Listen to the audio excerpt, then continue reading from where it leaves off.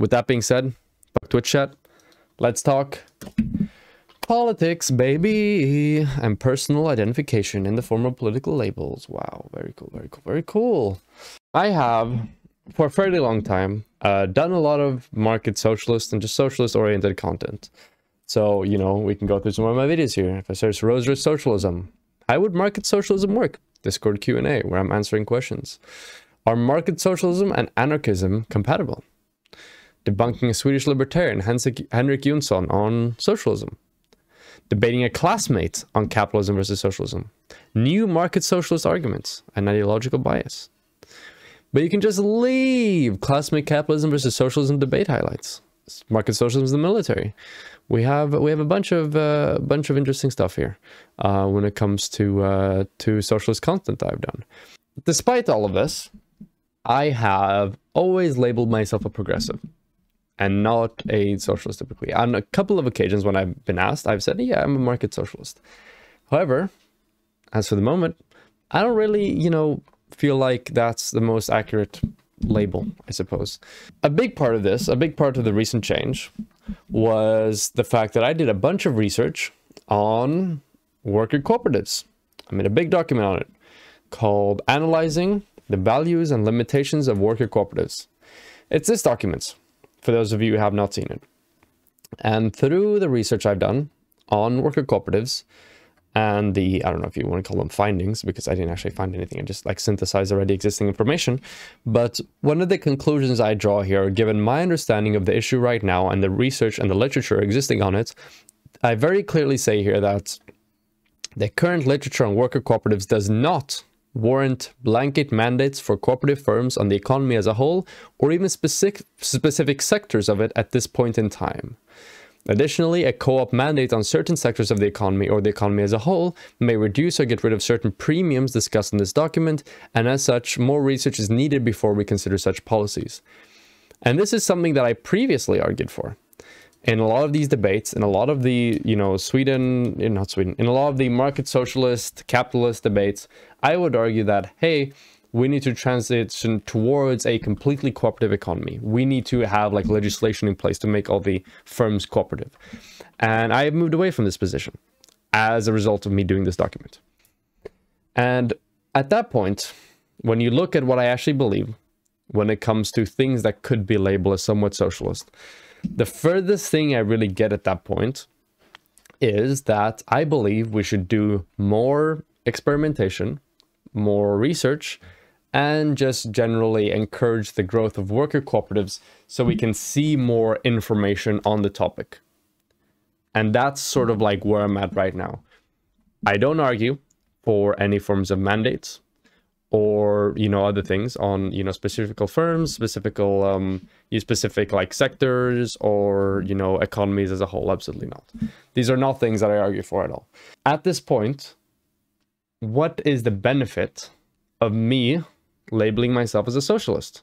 In my opinion, I don't see any strong reasons for doing so. Because there are three issues that come with, or that I feel like I run into if I were to label myself a socialist. Number one, I don't believe that there's any beliefs I hold right now that are socialist in nature. I mean, encouraging the creation of a new business model that can exist perfectly fine under uh, under like a capitalist framework I don't know. I don't think that's that's you know like socialism. Um, I don't argue for the the abolition of the commodity form. I've never done that really.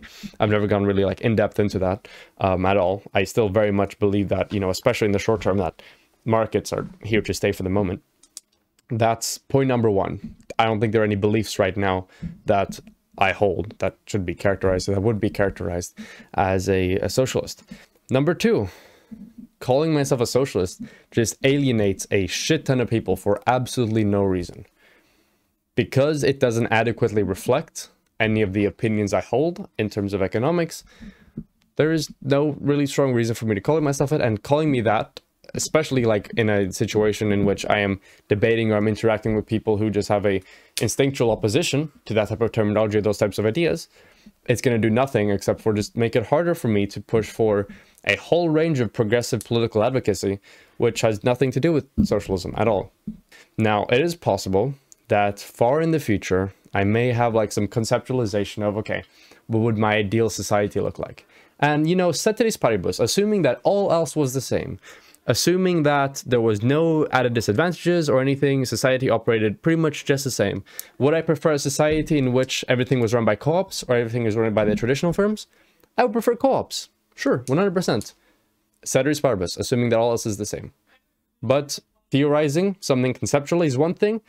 Being able to get there and seeing if that conceptualization is actually feasible is a completely different thing. Um, and because of that, I just I don't see a strong reason for me to like label myself a socialist in any like way, shape, or form. Because the most socialist policy I have is, hey, let's do more research into worker cooperatives law. And calling myself a socialist just alienates a bunch of people for no real reason.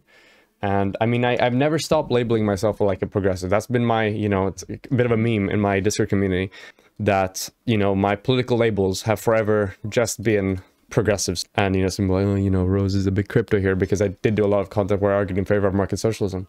But from this point forward, when it comes to economic debates, I'm not going to argue in favor of like market socialism really, unless we're having some hyper theoretical debate about some like long-term, like utopian preferable alternative. And to be honest, I don't even think I would accept type of debate. Like, because what's the what's the purpose of it? It accomplishes nothing. The the arguments that are gonna be made there, like the fallout, the consequences, the things I'm gonna like I'm gonna learn there, are probably not gonna be applicable to what I want to argue for in any way, shape, or form. So there's like no real reason for me to take a debate like that. So I don't think I'm going to be arguing in favor of market socialism anymore. I will 100% be arguing in favor of co-ops because they're very cool. And I really want there to be more co-ops so we can have more research and so we can see some of the established benefits of it being more widespread in general in society, assuming that they're still retained.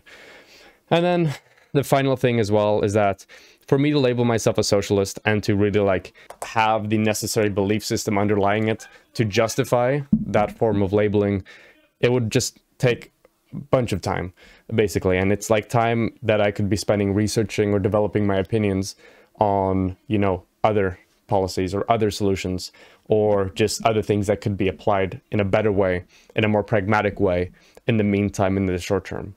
In conclusion, I don't label myself a socialist anymore, even though I've argued in favor of market socialism before, because number one, there's no beliefs I hold that should reasonably be called socialist. Number two, it alienates a shit ton of reason for people for no reason.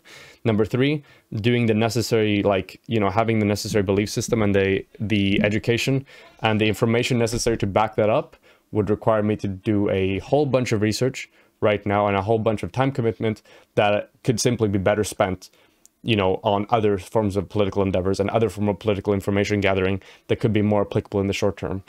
And um, as an effect of this, I'm not going to argue for market socialism in the way that I've done previously.